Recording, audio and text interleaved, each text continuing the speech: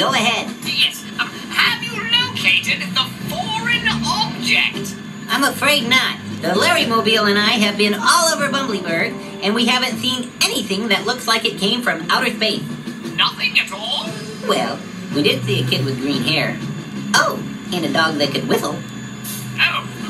All right. Well, keep looking, Master Larry. Remember, the security of Bumblyburg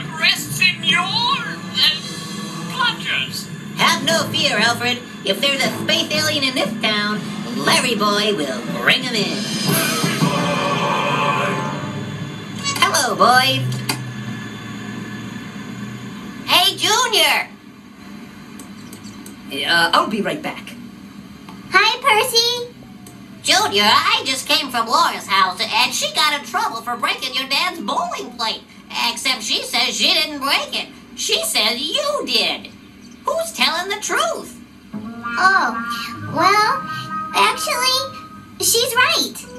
Huh? Laura didn't break the plate. It was, it was Lenny.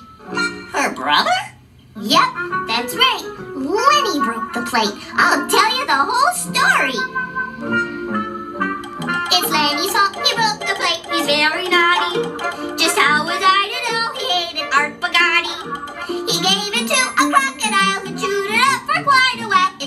Fault. He broke the plate. It's true.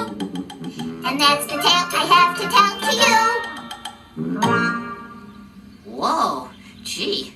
I didn't think Lenny was capable of that kind of violence. He seemed like such a nice kid.